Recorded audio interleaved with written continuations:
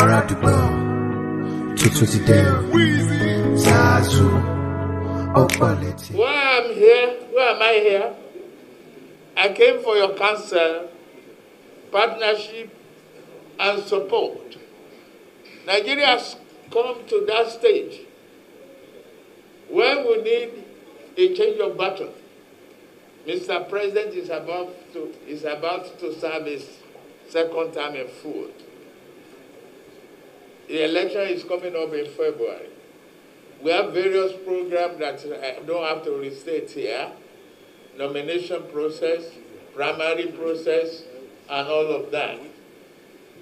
I can't do it by myself, and I can't do it by sitting at home, expecting that many friends that, personal friends that I have here will do it for me.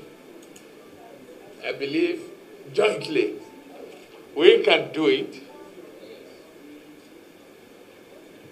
You can back me successfully for the nomination of my lifetime ambition to become the.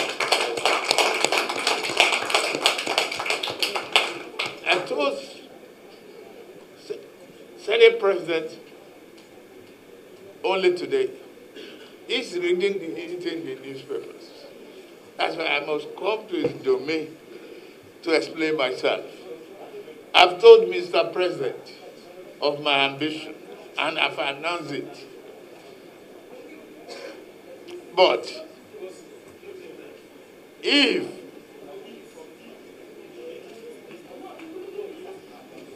if the council of wise men is anything to go by, you see some advert. If you want to go fast, do it alone. But if you want to get there, get success, and go there, definitely go with a team. I'm asking for that teammanship here today to get me over the hump of nomination process. And from that hump to get me to the presidency of the Federal Republic of Nigeria. You all remind me of the journey so far. That brings back again my memory of the first national anthem of this country. What is that? The first stanza. It says, though tribes, tongues are differ, but in brotherhood we stand. That is why our, the symbol of our party is broom. To create prosperity, cleanse our society of promises of essential commodity.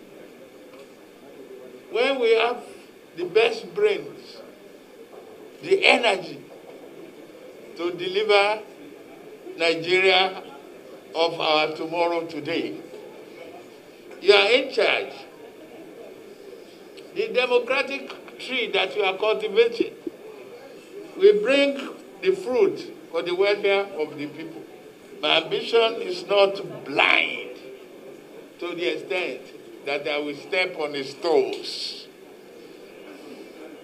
I just want to step into his shoe and not on his toes.